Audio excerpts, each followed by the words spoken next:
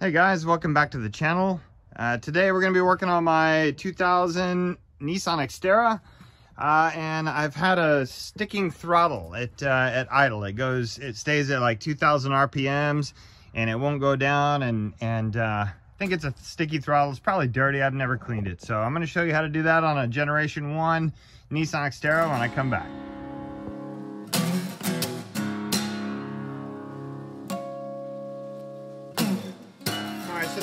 Things we got to loosen up on this. Obviously, the one that goes right here, we have to loosen up.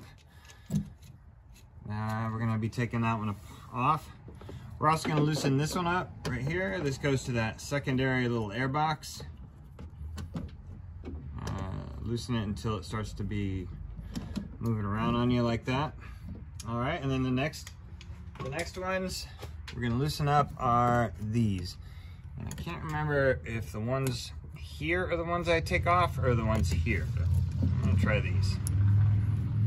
We're also gonna be taking the mass airflow sensor loose. It's right over here off camera. I'll show you in a second.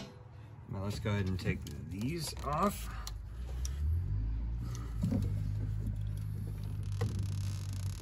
They tend to be stuck on there. I might need a new air or air uh, boot intake boot. These are these are on there good. All right, there's one.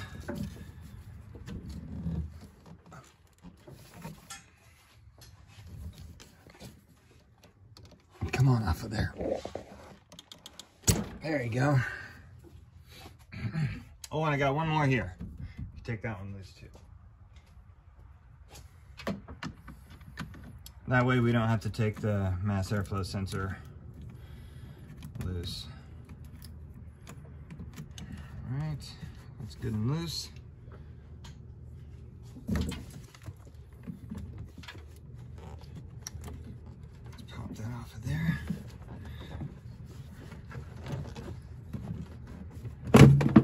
There's that. I got another one of those out of the junkyard. We'll see if that one fits better than one I have. All right, we got the intake boot off. And sure enough, it is filthy in there. I'm gonna show you with a flashlight. All right, there's a bad picture of it, but it's pretty dirty right there on the edges. And I think that's what's causing it to stick. So we're gonna go ahead and clean the edges of that, that throttle body. Okay, I went ahead and took the airbox off so I could get you guys a better picture of what I'm doing.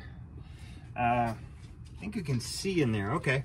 All right, so I'm gonna take some carb cleaner and I'm gonna spray it in there. All right, and I have a I have a pair of old shorts. I'm going to rub it to get it in there nice and good. You're gonna clean it. Don't be afraid. Don't you, you don't want to bend anything, uh, but you do want to get in there and actually scrub it with with something. Okay, that's that initial clean. All right. So the outside is clean, but that's not what's that's not what's sticking typically what's sticking is usually the edge of that of that butterfly. All right. So what we're gonna do is we're gonna wet our our thing we're gonna clean it with. Right now I'm wetting it. And this stuff evaporates real quick. So what I'm doing is I'm going to there we go.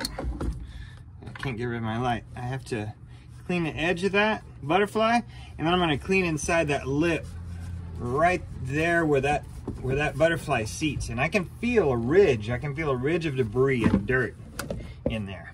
I'm gonna keep doing that. Now it doesn't have to be perfect, all right, but you do wanna get most of the stuff that's causing it to stick. You wanna get most of that off. So rub your hand around it. You, like Again, you don't wanna bend anything, so be kind of careful. Uh, a lot of this is done by feel because you, you're not gonna be able to see what you're doing in there.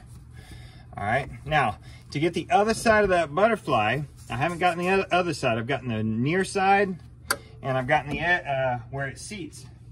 What I'm gonna do is I'm gonna fit my finger way down in there and I'm gonna, I'm gonna do it kind of slow.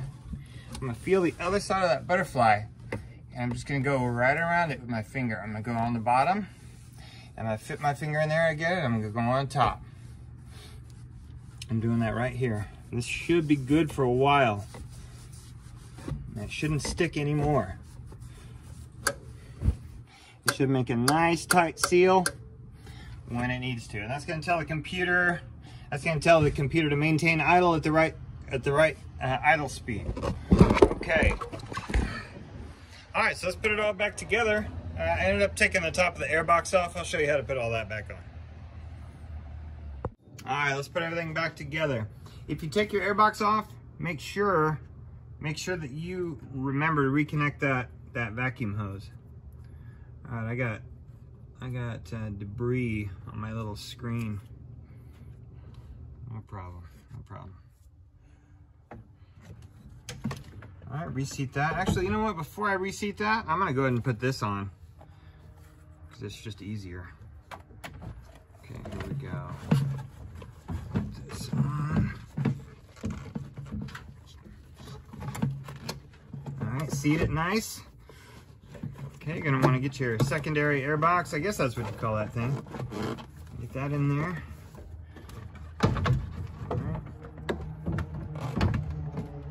Kind of get everything in there loosely, which I've done. Make sure you don't poke a hole in your air filter. You're maneuvering everything in.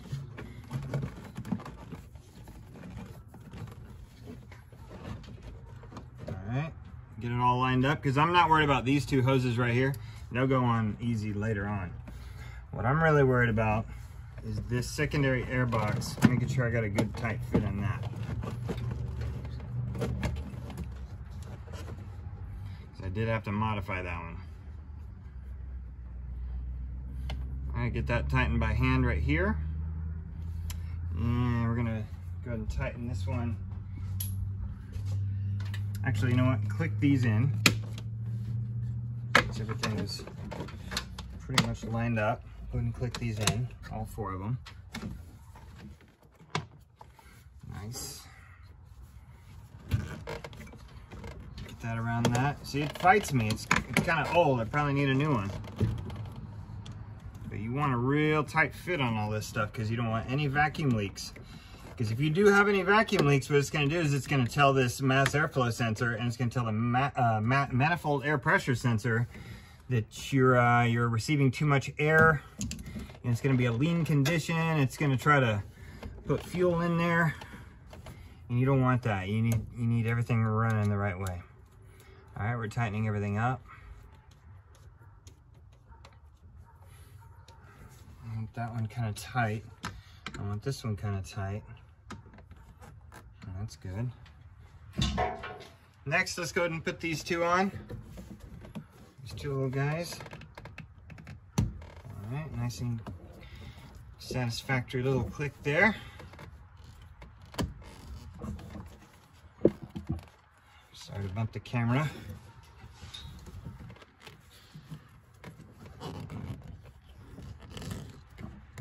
All right, nice.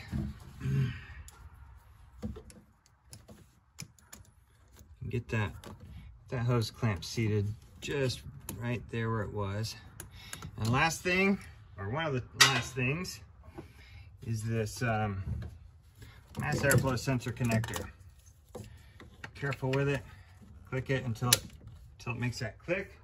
And last thing we never we never did is this one right here. Get that nice and tight. Sure we got a good sure we got a good connection on all that. All right, so there it is. Uh, we're gonna go ahead and drive it to work tomorrow and see if it see if it behaves the same way it's been behaving. So usually when it usually what happened when it was cold start is it would stay at like 2000 RPMs and it wouldn't go back down.